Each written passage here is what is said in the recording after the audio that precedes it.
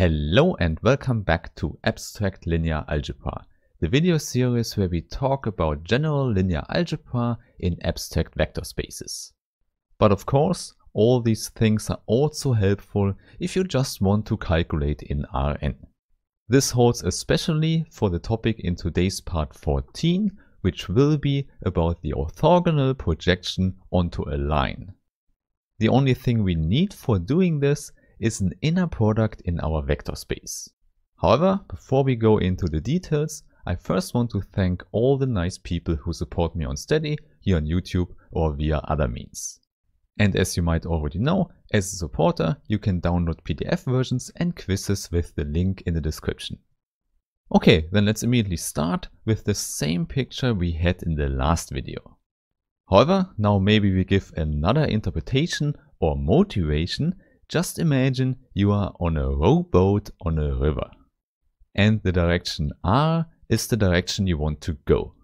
But the water in the river could flow into a different direction. So let's say the water flow is given by a vector x.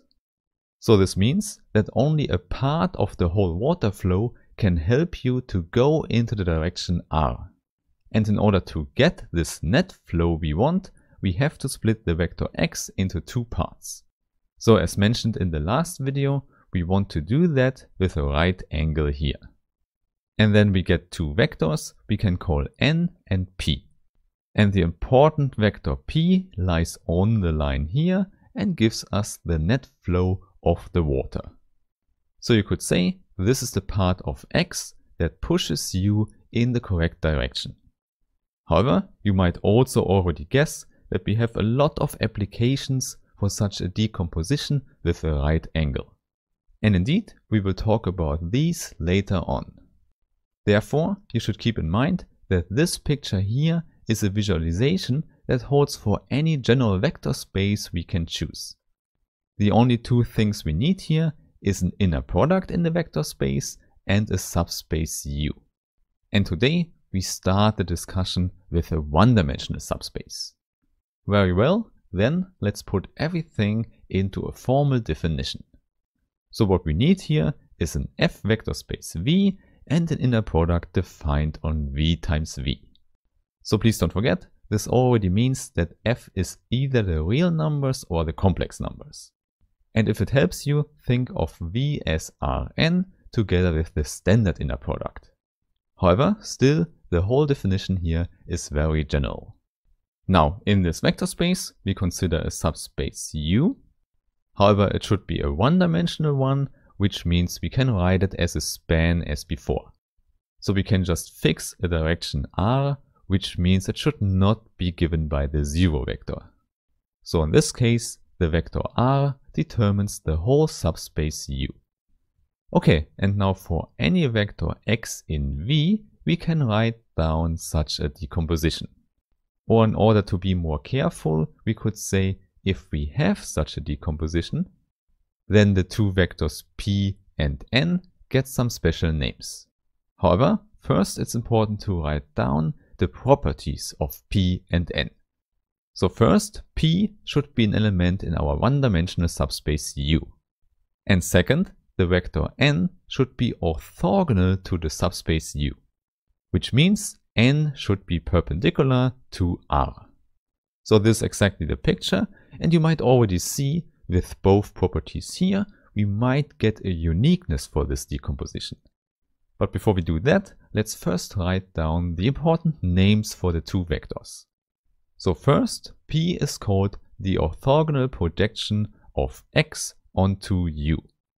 So of course, orthogonal projection here only makes sense if we mention the subspace. And on the other hand, n is called the normal component of x. And also here, we would usually say with respect to the subspace U. Now, these two names are very important, so please remember them for the future. Okay, so I mentioned it before, and as you can see, these names only make sense if we have a uniqueness in this decomposition. Otherwise, it would be strange to speak of the orthogonal projection if we had more than one. Therefore, the first thing we should do now is to prove the uniqueness. Indeed, the picture should already tell us that we cannot change the vectors here without changing one of the properties. But now let's prove it mathematically, which means we assume that we have two decompositions for x. And for the second one, we just use a tilde on p and n. Hence, please don't forget, we still have the two properties of p tilde and n tilde as well. Which means p tilde is in u and n tilde is in the orthogonal complement of u. So please recall the definition. The orthogonal complement of u has all the vectors from V that are orthogonal to R. Therefore, now we can check if n tilde and n are actually different. And we can examine that by putting x is equal to x. Or more precisely, what we want is that p plus n is equal to p tilde plus n tilde.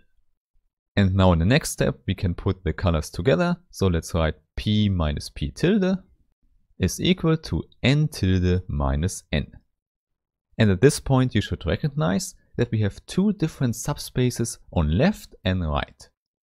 So p minus p tilde is definitely an element in U. p and p tilde are in U, and since U is a subspace, we cannot leave this subspace by linear combinations. And the same on the right hand side with U perp, you can just check that n tilde minus n is still orthogonal to R. This simply holds because of the linear property of the inner product. Hence, our result here is that the new vector we form here lies in the intersection of u with u orthogonal complement. And indeed, this intersection only contains the zero vector. If we want to prove that, we can simply use the orthogonality definition. It states that the inner product p minus p tilde with n tilde minus n has to vanish. This is orthogonal because we know that n tilde minus n lies in the orthogonal complement. However, since we have the equality as well, we get two more equations here. On the one hand, we can just substitute the second argument with p minus p tilde, and on the other hand, we can substitute the first argument with n tilde minus n. And now we see both things are equal to 0 and we can use the properties of the inner product. And essentially we just need the first property of the inner product which states that it is positive definite. It implies if we put the same vector left and right in the inner product and we get out 0, then this vector has to be the 0 vector. So we get p minus p tilde is equal to the zero vector and n tilde minus n. And hence the decomposition was the same all along. So you see, this shows the uniqueness we wanted. Okay, so very good. And now you already know the next part we want to show is the existence. And for this we don't need crazy ideas, we can just try calculating this orthogonal projection. So let's start by using the fact that P lies in our subspace U.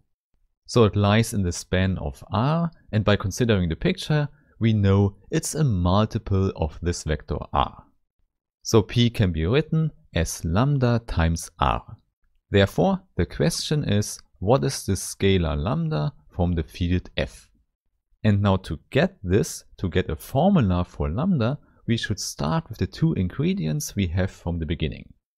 Namely, we have the vector x given and the vector r.